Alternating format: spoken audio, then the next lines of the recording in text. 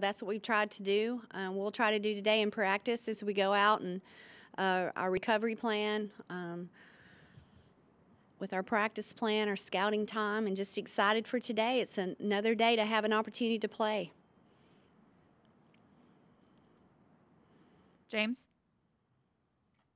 Hey, coach, going into a game against Arkansas, they've got a lot of really good shooters and, and can score on the perimeter, uh, unlike maybe any team you've played yet this season. So, how do you slow that down uh, defensively?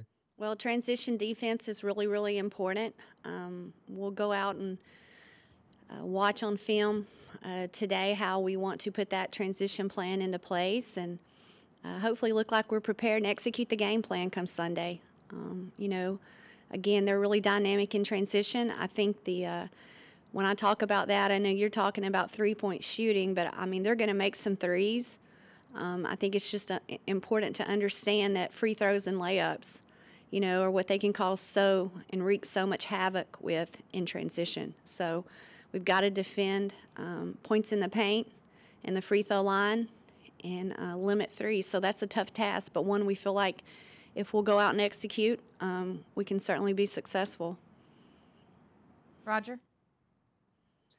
Coach, what can you tell us about just the resilience of your basketball team bouncing back? We've seen that a lot for all these players, especially the seniors all throughout their career, but especially this season as well. Uh, just anytime there's a setback, uh, your ladies are ready to go. No question. You know, um, our kids, you know, I call it shake it off and they call it shake back. So I've kind of modernized my shake it off to shake back. And, um, you know, Jasmine came up with that. So I, I'm all about shake back and we have to shake back. You know, the, the thing that I think sometimes, you know, again, I think you have to credit the number three team in the country last night for finding a way to win. And um, they were better at we were for too many stretches uh, to put ourselves in a position to be successful. So you learn from that. As a competitor, you hope you get another chance, possibly in the SEC tournament, to improve on that experience.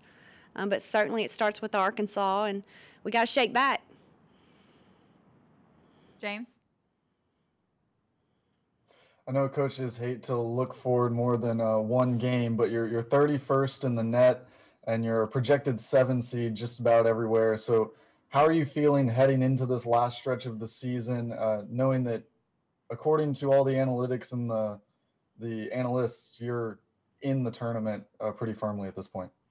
Well, I think it's important to understand as a competitor, you want to win the next game. Uh, you're not just satisfied with that. I'm certainly not. Our staff is not. And we need our team to learn how to be that way. And um, that has nothing to do with last night. I just think that, you know, you never take anything for granted. And with what happened to us March the 13th a year ago, um, we need to make sure that you know we just take advantage of the next opportunity uh, to represent the front of our jersey in the manner it deserves to be represented and, and, play our guts out and put ourselves in a position to get another win. It can only improve seeding, you know, as far as the NCAA tournament. Um, and you're playing an Arkansas team who's higher in the net.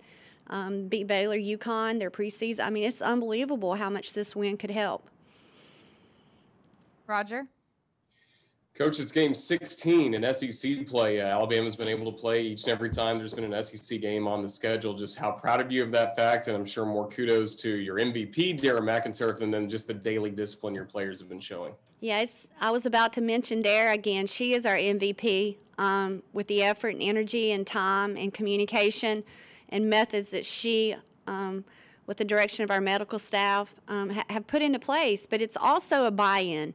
It's also selflessness from your players on how important this is.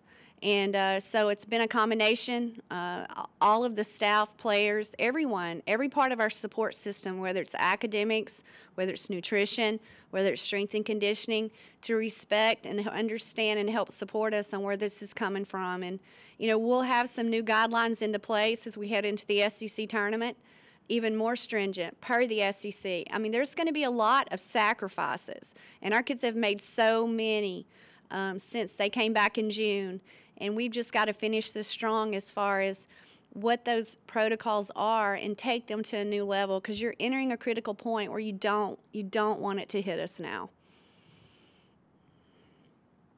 Any other questions? All right, guys, have a good one. Thank Thanks, you. guys. Roll Tide. Have a good weekend.